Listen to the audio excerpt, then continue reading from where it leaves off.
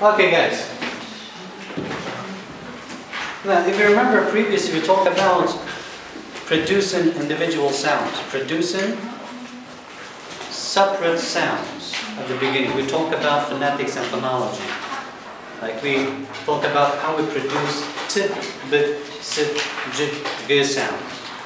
And then, after having enough information about how we produce sounds, we talk about how we combine those sounds and how each sound has a distinguishing meaning within the combined sounds. Like we talk about uh, phonemes, right? And then we talk about how we form words in languages. And today we're going to talk about the morphemes. And when we say morphemes, now we have combined sounds, words, we have different elements, different forms, and different words. And we're going to talk about the organization, the systems of the basic elements in a language. Okay? Yani şöyle diyelim, daha önce başlangıçta biz sesleri nasıl üretiyoruz? Speech organlarla beraber. Yani konuşma organlarımızı kullanarak biz sesleri nasıl üretiyoruz? Her bir ses. B, C, T, S. Tamam, bunları öğrendik. Sonra biz bu sesleri bir araya getirip nasıl her bir sesin anlamı değiştirdiğini gördük. İşte bunu da nerede gördük? Fonimde gördük değil mi? Phonology'de gördük. Fonim, mesela cat, bat dedik. İşte B burada meaning distinguishing'dir. Tamam. Tek başına üretildiği zaman çıkardığı ses farklı. Ama bir kelime içerisinde veya bir kombinasyon içerisinde kullanıldığında artık farklı bir görevi var. Şimdi kombine ettik sesleri, sesleri birleştirdik. Her bir sesin meaning distinguishing olduğunu yani anlamı değiştirdiğini gördük. Tamam bir kombinasyon var. Başka bir kombinasyon daha var. Başka bir kombinasyon daha var. Yani farklı farklı kombinasyonlar var. Biz bunlara işte kelime diyebiliriz. Form diyebiliriz. Değil mi? Elements diyebiliriz. Yani o dilde kullandığımız farklı elementler var. Şimdi bu farklı elementlerin bir araya gelmesiyle e, verilen mesajlar olur. Değil mi? Biz bu farklı formları inceleyeceğiz şimdi.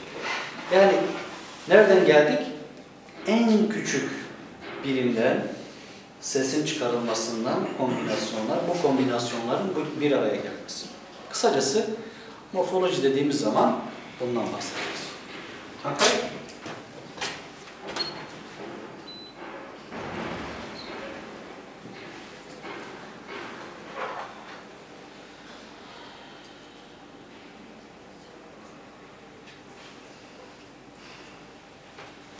In many languages, single forms are indeed a large number of word-like elements. So in English, for example, when we combine different words, when we want to convey our message, we combine different words, separate words. Like, for example, if you want to convey that you love another person, you say, I love you.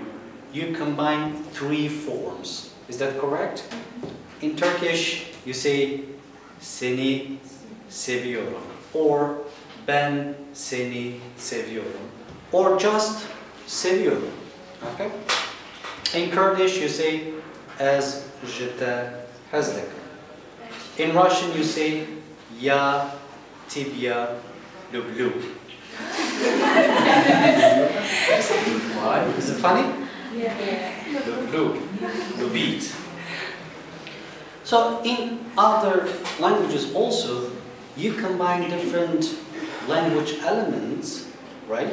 However, in some other languages, one form, word-like form, indeed uh, has the meaning of different forms that are used in other languages. For example, okay, here, in Swahili, that is a language spoken throughout East Africa, Nitakupenda. Okay. It seems as a single form, right? But indeed, it has basic elements that are used in other languages, like I love you, ashtahastikum, seni seviyorum, yatibiyalublu. Ni ta ku penda. I will love you. Okay, so here we see single form indeed is different from the other uh, separate words that, that are used in um, different languages, but they have the same elements.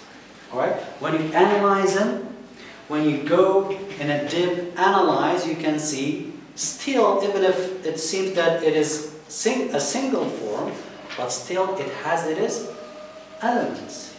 And we analyze this through morphology.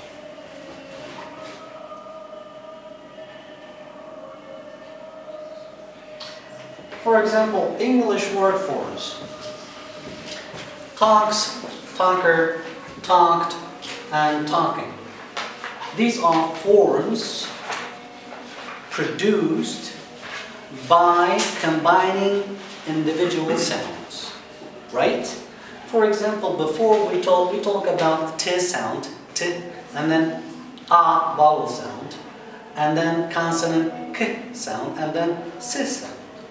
We learned about how we produce them individually, separately. Then we combine them, like in this form, t, a, l, k, and s. We say tongues, or talker, talked, talking. So the elements here, the elements, first talk, and then here talks, talker, talked, and talking. In. These are different elements. Bu morfimler dediğimiz zaman artık morfimler bir dildeki farklı elementlerdir. Yani o gördüğümüz farklı yapıların her biri morfim oluyor. E tabi morfimin bir alt basamağına gittiğiniz zaman fonimler var. Fonimlerden kastımız ne? Mesela bu bir morfim değil mi şu an? Bir elementtir. Yani bir dilde kullandığımız bir yapıdır. Bunun bir alt basamağına gittiğiniz zaman aslında bu form her biri bir fonimden oluşuyor. Yani t, a, l, şey, l yok, t, a, k. Bunlardan oluşmuyor. Fonimlerden oluşuyor. Fonim neydi? Anlamı değiştiren sesti değil mi? Meaning distinguishing sound.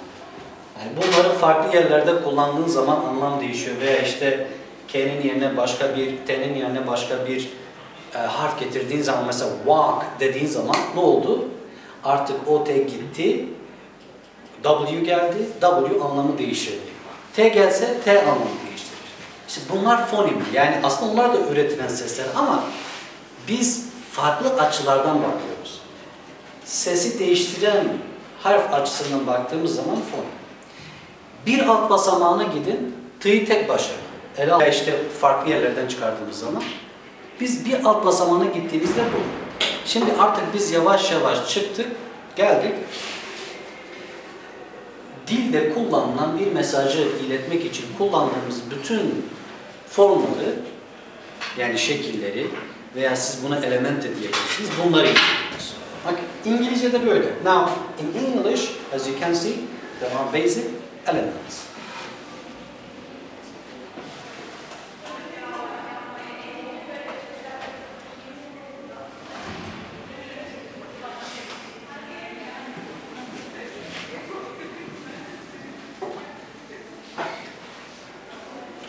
Example, let's, okay, um, give Turkish as another example. Gelmek, geliyor, gelen, geldi. The elements, gel. Another element is make. Another one, your, and, and, the. Alright? In Kurdish, Hatem. Hat. Hat means gelmek. So hat is one element, and this T another element, and M is another one, and also N is another one. You see?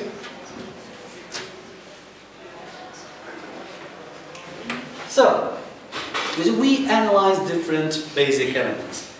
And when we say morphology, we mean the investigation or the study of basic elements in the form of a linguistic message in a language. This is the definition of morphology. We study, we analyze, we inspect basic elements form of a linguistic message. What, what, do we mean by a linguistic message? For example, I love you is a linguistic message. You try to convey that you love somebody else. Or when you say, I will come, you convey a message. You send a message to another interlocutor, to another person that you're coming, or you will come, or you came yesterday. Okay? Yani biz dilde farklı mesajları iletmek istediğimiz zaman bazı basic elements dediğimiz yani temel yapıları bir araya getiriyoruz. İşte o temel yapıları inceleme alanına biz ne diyoruz? Morfoloji. Okay?